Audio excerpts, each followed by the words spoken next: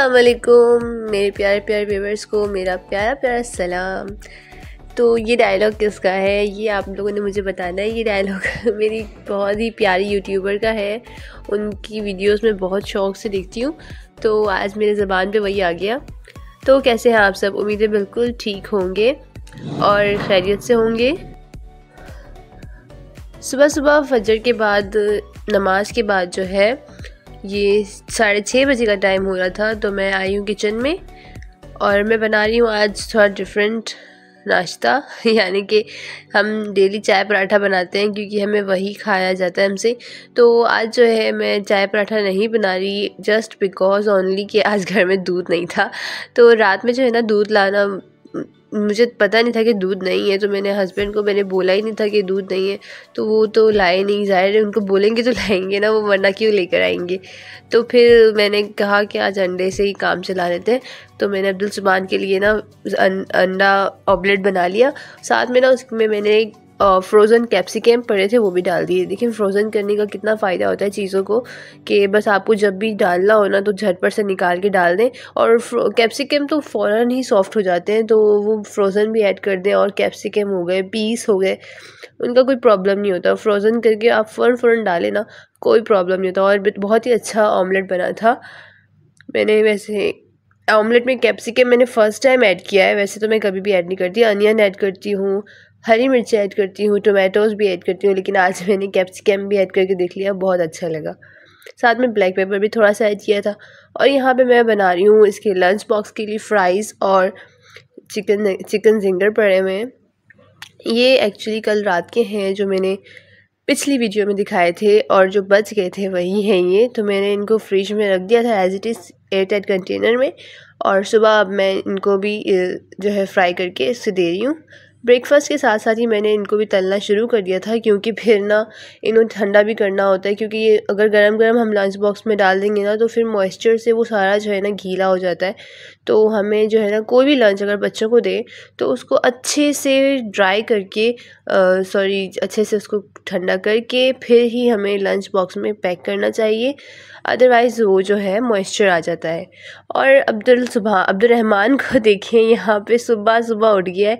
ये दो तीन दफ़ा उठने की कोशिश कर रहा था और ना लिटरली ऐसा होता है, जिस दिन मुझे ज़्यादा काम होता है ना, जिस दिन जैसे जैसे आज देखो थोड़ा बहुत काम था, सुबह में लंच बॉक्स बनाना था और आज पराठे भी मैंने बनाए।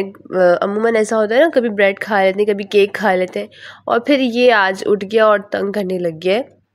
तो मैंने इसे बराबर में ना शेल्फ़ पे बिठा दिया था, वरना तो इसने तो चुप होना नहीं था। तो यहाँ पे मैंने इसके ऑमलेट को पराठे में लपेट के ना रोल बना के दे दिया है, और इसमें से एक बड़ा और एक छोटा काटा है मैंने, क्योंकि जो है ना वो बड़ा पराठा पूरा देख के ना फिर डर जाएगा, वो खाने का वैसे ही इतना चोर है। तो उसने लिटरली मुझे ही खिलाया ये बड़ा वाला और छोटा वाला उसने खुद ही खाया है।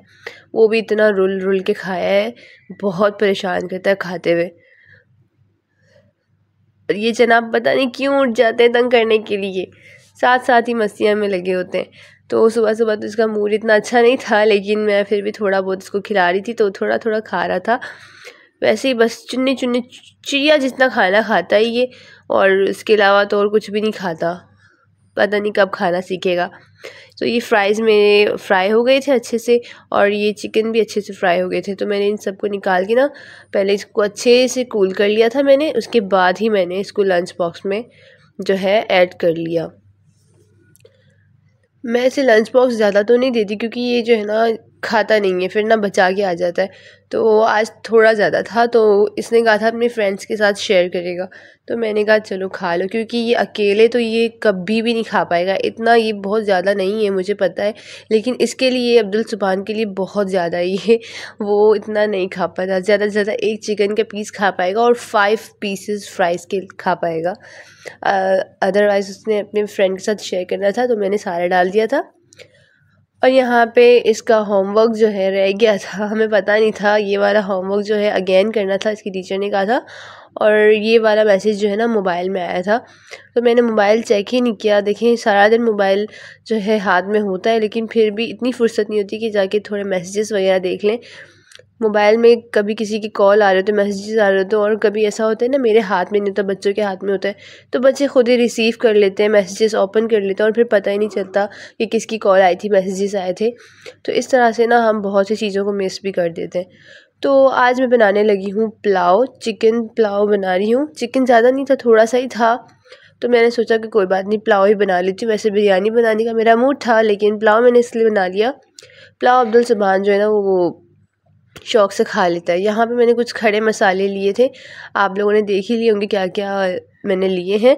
अगर आपको नहीं पता तो आप दोबारा से वीडियो को पीछे करके देख लीजिएगा। और फिर, अनियन को जो है ना, गोल्डन बिल्कुल भी नहीं करना, बिल्कुल कलर नहीं आने देना, वरना पुलाव का कलर ना ब्लैकिश हो जाएगा। तो अनियन आप लोगों ने ध्यान ज़रूर रखना इस बात का। एक ही टोमेटो ऐड किया और ये जो वाइट कलर का है, ये फ्रोज़न योगर्ट है। ये भी मैंने ऐड कर दिया और यहाँ पे मैंने ऐड कर दिया है चिली पेस्ट। चिली पेस्ट नहीं कह सकते इसको चिली जूस कह सकते हैं, क्योंकि इसमें बहुत सारा पानी है। नहीं लास्ट वाला जो पेस्ट बचा था ना, जब मैंने इनको ग्राइंड किया था तो ये वो वाला है, जिसको मैंने पानी के मिक्सचर से ऐड करके ना कंटेनर में सेव कर लिया था। देन कड़ी लीव्स कड़ी कड़ी पत्ते मैंने इसमें ऐड कर दिए, क्योंकि पुलाव हो, बिरयानी हो और कड़ी पत्ते ना हो तो फिर बाद ना कुछ हज़म सी नहीं होती है। तो मैंने कड़ी लीव्स भी इसमें ऐड कर दिए थे और आलू बुखारे ऐड कर दिए थे। और फिर मैंने इसमें पोटैटोस ऐड करके इसको कुक करने के लिए रख देना है। सॉल्ट ऐड करना तो मैं भूल ही गई थी। कई दफ़ा ऐसा होता है, मैं कभी खानों में ना सॉल्ट ऐड करना भूल जाती हूँ कभी ऐसे ऐसे फ़ूड बनाती हूँ ना जो कि सारी चीज़ें मिक्स करके फिर ना चूल्हे पे चढ़ा देते हैं तो उसमें कभी भी ऑयल ऐड करना भूल जाती हूँ। इतनी ज़्यादा भुलक्कड़ हुई हूँ। तो यहाँ पे मेरे पास फ्रोज़न पीस पड़े हुए थे। तो ये भी मैंने डाल दिए। अच्छा है ना वेजिटेबल्स ऐड किया करें अपने फ़ूड में। बच्चों को भी प्रोटीन मिलती है इससे। तो ये मैंने फ्रीज़ करके रखा है, इसका मुझे बहुत फ़ायदा हो रहा है, बहुत ज़्यादा। अगर मुझे दोबारा से पीस मिले ना तो मैं ज़रूर ले आऊँगी और उसको और भी सेव कर लूँगी। क्योंकि वैसे भी सीज़न अभी ख़त्म होने वाला है तो सीज़न के बाद तो कोई भी वेजिटेबल नहीं मिलता। फ्रूट्स का भी अपना ही सीज़न होता है। तो खाना बनाने के साथ साथ फिर मैंने थोड़े से मेलन भी कट कर लिए, क्योंकि फिर अब्दुल सुबहान को जो है ना, वो थोड़ी थोड़ी भूख लग रही थी स्कूल से आया हुआ था वो। तो खाना बनने में थोड़ी देर थी। चाय पराठा मैंने इसको दिया था, लेकिन ये अभी टाइम ज़्यादा ज़्यादा हो हो चुका था। तकरीबन चार बजे के करीब करीब मैं पुलाव बना रही थी। तो ये मैंने तो ट्यूशन पढ़ाने के बाद ही फ्री होके खाना था तो उसको मैं थोड़ा सा निकाल के दे दूँगी। उससे पहले मैंने उसको मेलन भी कट करके दे दिया। तो बस अच्छी तरह से जब सालन हमारा कुक हो गया, उसके बाद मैंने जो है इसमें चावल भी ऐड कर दिए। साथ में मैं लगा रही हूँ तड़के के लिए अनियन और हरी मिर्चें तो तल रही हूँ। इससे मैं पुलाव में तड़का लगाऊँगी और पुलाव में तड़का ना लगाएँ और पुलाव कंप्लीट ऐसा हो ही नहीं सकता। पुलाव में ज़रूर तड़का लगाया करें, इससे बहुत अच्छा टेस्ट आता है, बहुत ज़्यादा मेरी बहुत सी बहनों को तो ये सब पता ही होगा, लेकिन जिनको नहीं पता उनको मैं बता रही हूँ। तो इस तरह से तड़का लगाने से ना बहुत अच्छी खुशबू आती है। तो बस मेरी पुलाव, मेरा पुलाव जो है रेडी हो चुका था और मेरा यहाँ पे काम ख़त्म हो चुका था। तो बस फिर मैंने सोचा सैलड सैलड बना लूँ क्योंकि क्यूकम्बर मैं लेकर आई थी तो ये लास्ट बचा हुआ था तो मैंने इसका भी जो है आज जो है ना हलाला कर ही दिया और पुदीना जो है वो भी पड़े हुए थे तो वो भी मैंने ऐड कर दिए। अनियन मैंने आज भी ऐड नहीं किया। सैलड में वैसे अनियंस भी ऐड करती हूँ, लेकिन जल्दबाजी की वजह से जो है ना मैं मैं ऐड ही नहीं करती। जल्दबाजी में कितने काम अधूरे छोड़ देती हूँ, मैं बता भी नहीं सकती। तो बस खाना डाला मैंने, मेरी हेल्पर भी आई हुई थी, उनको भी दिया मैंने मैंने भी खाया। और बहुत अच्छा बना था, बहुत ज़्यादा अच्छा बना था। वो भी कह रही थी कि भाजी बहुत अच्छा बना है। तो फिर बस शाम में जब ट्यूशन वगैरह पढ़ा के फ्री हुए ना तो बच्चों को थोड़ा बाहर ले गए और बच्चों की थोड़ी इन्जॉयमेंट करवाई, क्योंकि बच्चे ना बेचारे घर में बोर हो जाते हैं। और यहाँ अब्दुलरहमान को देखें, ये वाली राइड में जब ये बैठता है ना तो इसको उतरने का दिल ही नहीं चाहता, ये बस चाहता है कि इधर ही बैठा रहे। तो किसी तरह इसको उतार दिया हमने यहाँ से। बस यही था आज का ब्लॉग आज का दिन, इसी तरह गुजर गया। हँसते, खेलते, काम करते। तो आप लोग कैसा लगा मेरा ये व्लॉग आपने मुझे कमेंट में ज़रूर बताना है। और अगर आपको मेरी वीडियोस पसंद आ रही हैं और मेरे व्लॉग्स अच्छे लग रहे हैं, मेरी रेसिपीज़ को भी देखा करें और चैनल को भी सब्सक्राइब कर दीजिए करें।